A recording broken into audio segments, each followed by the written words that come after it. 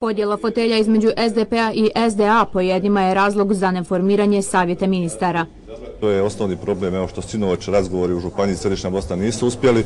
To će prouzrokovati dalje odgađanje i u Hercegovačko-Netvanskoj županiji, implementiranje rezultata izbora, evo i naravno i vijeća ministara. Megalomanski zahtjevi HDZ-ova te nelegalna federalna vlast po drugima su uzročnici političke krize.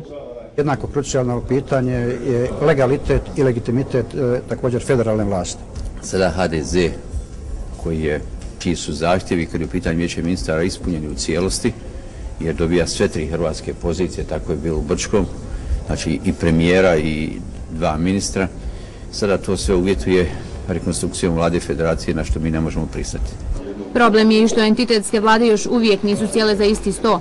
Sulejman Tihić i Milorad Dodik danas su dogovarali sastanak entitetskih ministara energetike koji bi trebali da odblokiraju rad elektroprenosa BiH.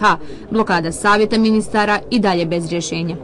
Vi stvarno mislite da se ljudi koji su na vlasti sekiraju zbog toga? O njima ova situacija odlično dođe, svi trošimo vrijeme na toj priči, mi što da pričamo, ima radnih mjesta, nema radnih mjesta.